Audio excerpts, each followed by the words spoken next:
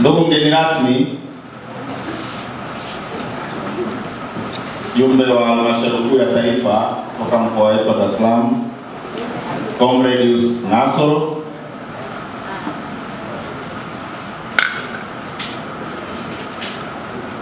Mheshimiwa mbunge wa jimbo la Kinondoni, karibu sana, lakini najua jimbo lako wananchi wako kwa wanajua huko nyumbani. Viongozi wote wa mkoa uliofatana na mgeni rasmi ambao mlioko hapa, mwenezi wa wilaya ya Kinondoni na wote wa idara ya propaganda wilayani kwangu tuliokuja pamoja, mwenyekiti wa kata ya Magomeni, katibu katibu mwenezi wa jimbo kamati ya siasa ya kata ya Magomeni na viongozi wote wa jumuiya iliyoko hapa, wajumbe wa halmashauri kuu, wazee, WT na makada wa Chama cha Mapinduzi, assalamu alaikum. Bwana Yesu asifiwe sana. Tumsifu Yesu Kristo. Ndugu mgeni rasmi, bado tuko jimbo la Kinondoni, naona tunamalizia malizia. Hii ni kata ya kumi na tisa katika kata ishirini za wilaya ya Kinondoni.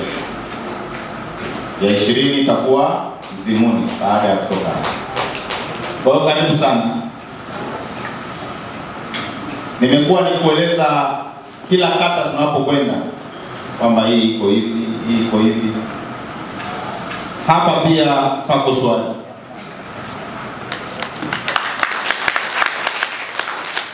Mambo madogo madogo ya kisiasa yapo, hayawezi kukosekana, lakini sema ni kuna matatizo makubwa la habari na wazee wangu hapa, basi najua mambo yanakwenda.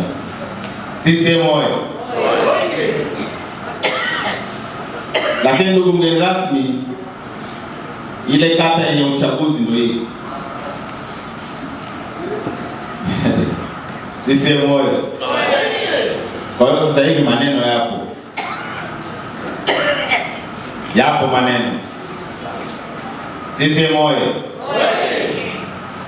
Ndugu mgeni rasmi, sio kikao changu, lakini mtaniruhusu niongee kidogo, alafu nitakupa nafasi.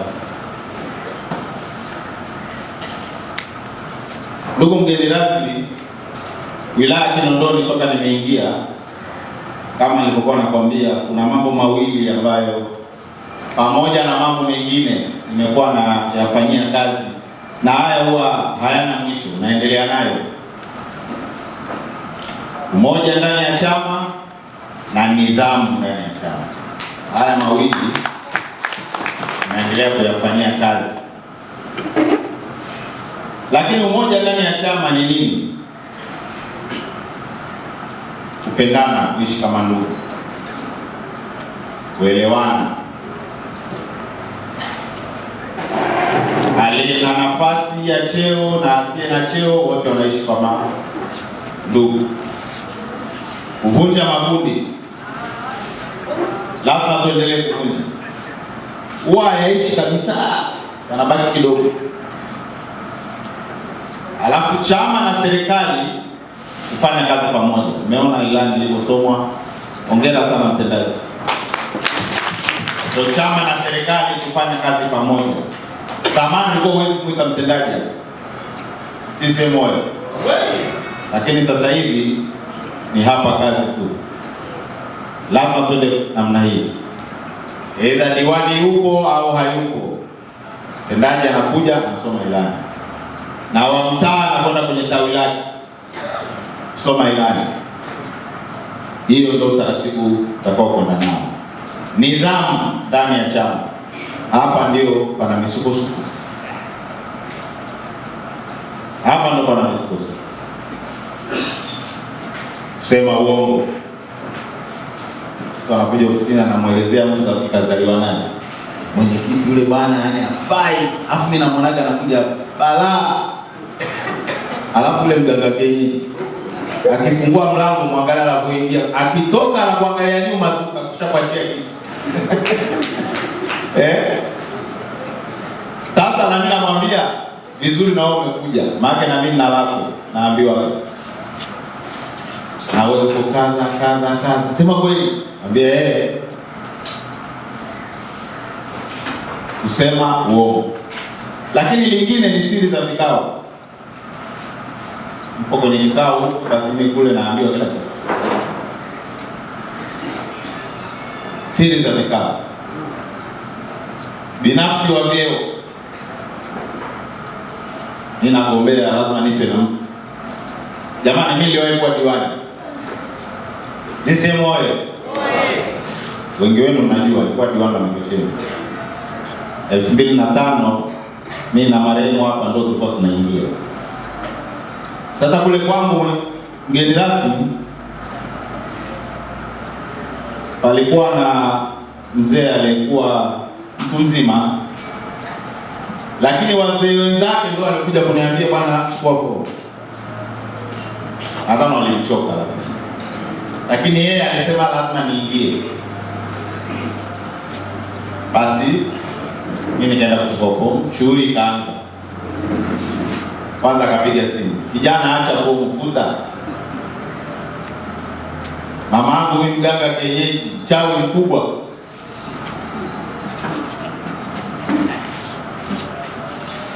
Lakini tulipokaribia karibia hivi kura ya maoni kama vile yenyewe mnamaliza leo, jana yake. Asubuhi nakuta kichwa cha kondoo kwenye geti. Kachinjwa, kichwa kimewekwa pale, kimezungushwa kitambaa chekundu, alafu akatumwa mtu apige simu,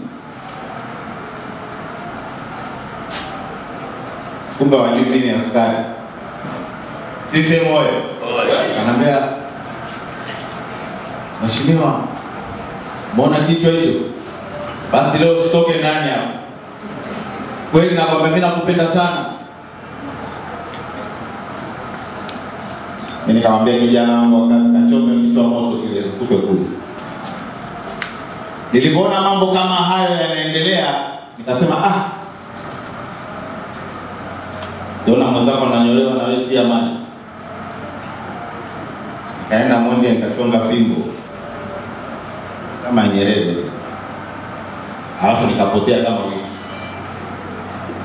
Nikaambia katibu kata, wewe kuna kitu nataka kufanya. Nilipotokeza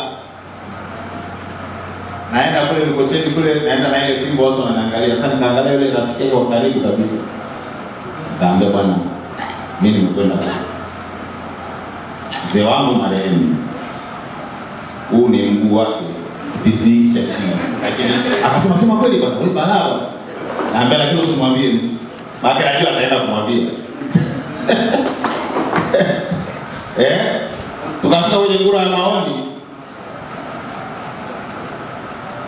yule mzee akasema bwana, Maruma na Filimbo naomba asiingie naye humu ndani. Kumbe hamna kitu, maskini Mungu ni, mti tu. lakini niliongoza kura ya maoni kwa masiku. Lakini nataka kusema nini? Mambo haya yanapanga Mungu, uongozi unapangwa na Mungu. Utakufa, utafanya hiki, utafanya hiki, lakini mipango ya Mungu iko pale pale, na ndio maana haonekani. Unakuta saizi watu wamepanga foleni, mzee gogo gogo, nimechukua fomu kule, haonekani. Sasa sisi tunataka kufanya kazi yake, tunaonekana ndio tunapata shida. Kazi ya Mungu hii tunafanya hawa sisi na nyinyi. Maana unapigiwa simu, unapatikana. Mtu akitaka kuona anakuja ofisini anakuona. Mungu yeye, unakwenda kanisani, unakwenda msikitini kuomba, ila karama zako anazo, anajua anapokugaia.